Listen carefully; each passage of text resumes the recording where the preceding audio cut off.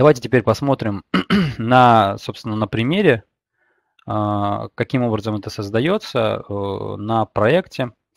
А, у нас э, здесь я представил проект а, отопления вентиляции. И вот на его основе мы как раз сейчас и рассмотрим, разберем спецификации, что это такое. Первое. В диспетчере проектов есть отдельная вкладка «Ведомости и спецификации», в которой, если вы раскроете список, а, здесь могут находиться уже какие-то а, созданные заранее спецификации, а, которые присутствуют в проекте. Они вот таким большим списком находятся вот здесь. И при нажатие двойным щелчком мышкой мы переходим в спецификацию. Допустим, экспликация помещений. Но у нас здесь помещ... Э, помещений никаких в проекте нету, поэтому экспликация пустая. А, вот таким вот образом будет выглядеть эксплика... Э, спецификация, если элементов в проекте нету. Спецификацию создать можно, но она просто будет вот такой пустой, у нее будет а, просто вот такая шапка с названием и с названием столбцов, и все. Если элемент в проекте появляются, то сразу же в дальнейшем э, спецификация будет заполняться автоматически. Сейчас это как раз и продемонстрируем. Сейчас у меня здесь нету никаких помещений. Так, момент. И если, допустим, я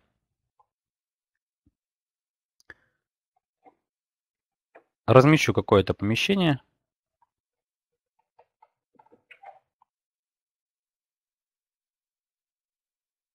Так.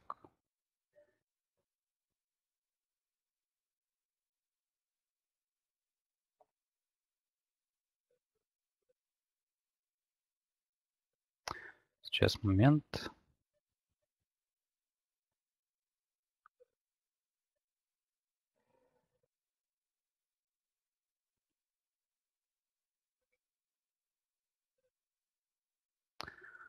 Вот э, э, размещаем здесь помещение. Так, сейчас слишком тормозит. Слишком тормозит, но ничего страшного. То вот э, мое помещение здесь разместилось. Как только я поместил элемент в проекте, он у меня появляется в спецификации. Помимо этого, есть уже какие-то готовые тоже ведомости с уже заполненными элементами. Допустим, а, спецификация с арматурой воздуховодов. Здесь уже есть какая-то табличка с данными, с количеством элементов, но она не заполнена. А, мы это сейчас э, исправим, будем создавать свою спецификацию, посмотрим, как она создается. И э, давайте перейдем э, во вкладку для создания спецификации. Спецификации создаются из вкладки «Вид». Э, значок э, отображается в виде вот такой небольшой таблички. Нажимаем сюда, и у нас выпадает список э, различных э, ведомостей и спецификаций для создания. Самая основная спецификация – это, собственно, первое, первое значение – ведомость спецификация. Нажимаем сюда, и у нас появляется вот такое окошко. А, для того, чтобы нам а, создать спецификацию, нам нужно выбрать какую-то категорию а, в Revit. Собственно, что мы будем размещать в таблице. К сожалению, нельзя выбрать, допустим, какие-то две категории. Допустим, иногда очень э, требуется создать ведомость и по, ну, допустим, и по дверям, и по окнам сразу же одновременно. Или там еще по каким-то элементам, по перекрытиям и по стенам.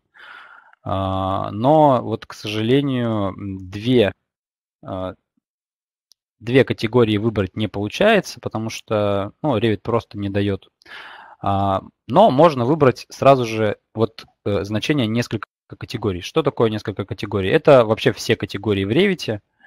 И э, в дальнейшем вы уже сможете просто отфильтровать какие-то ненужные вам категории, оставить только те, которые вам необходимы. Вот, поэтому здесь только два варианта. Либо вы выбираете одну категорию какую-то определенную, либо вообще все, и там уже фильтруете, как вам нужно. Давайте сейчас выберем категорию оборудования. Вот, категория оборудования. У нас размещено оборудование в проекте. Далее, после выбора категории, мы пишем имя спецификации.